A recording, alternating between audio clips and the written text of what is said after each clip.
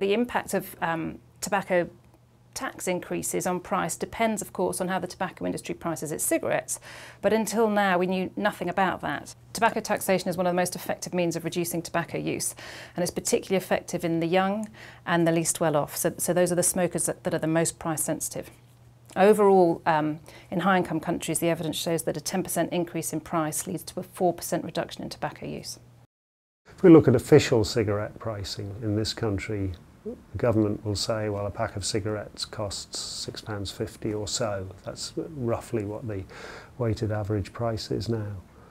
When you go into a shop and look at the prices, there's a huge range, and the budget end of the extreme is a good pound or so cheaper than that. The tobacco companies segment their brands into a, a number of price categories, and the, at the top end, we've got premium brands, such as these, which are currently about £8 in price.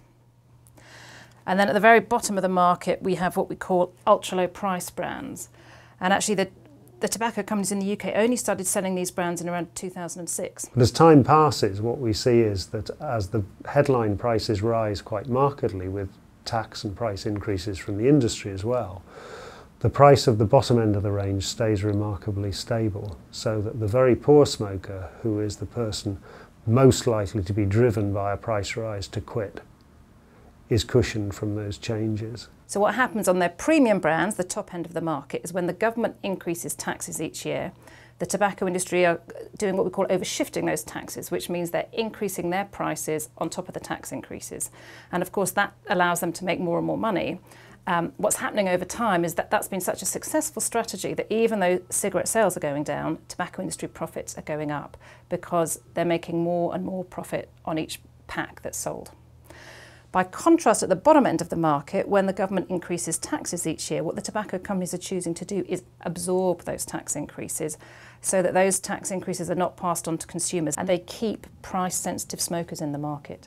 So when taxes go up each year, rather than that tax being fully shifted to smokers, some of whom would quit, the tobacco companies are absorbing that tax increase on the cheapest brands, and that means that it's less likely that the price sensitive smokers, who we know are the young and the least well off, will quit. One of the reasons why the tobacco companies uh, are very worried by plain packaging, I believe, is that it's only the packaging that distinguishes a premium cigarette, which costs you £7 for 20, from a budget cigarette that costs £5 for 20.